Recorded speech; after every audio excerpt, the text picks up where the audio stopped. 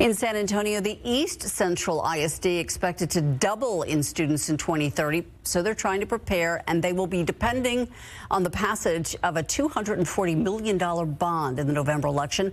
Max Massey spoke with the East Central ISD superintendent and explains what's in that bond and what it means for taxpayers. Lots of opportunity, lots of growth, lots of change, lots of diversity, um, lots of excitement. Roland Toscano is not only the superintendent for schools for East Central ISD, but he's also a graduate of East Central High School. Toscano has seen the district grow over the years, and he's preparing for the future growth. In addition to that, we want to make sure that we upgrade safety and security measures across all of our schools, um, as well as ensure compar- comparability of our facilities, our age facilities. We want to make sure as we build new facilities that we don't leave those behind.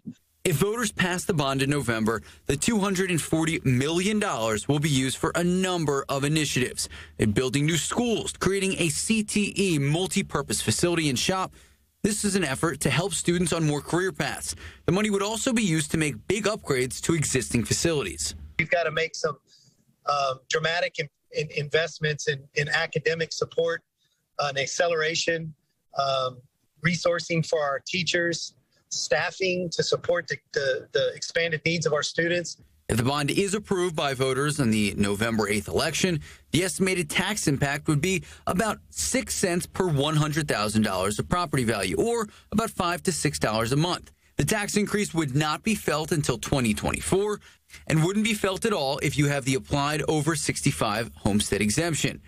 As for Toscano in the district, the future is bright you know, we're excited about what's to come and we're excited uh, to serve this community in the future. If you have any questions about the bond or the election, we have all those answers right now. Just head to ksat.com. Max Massey, KSAT 12 News.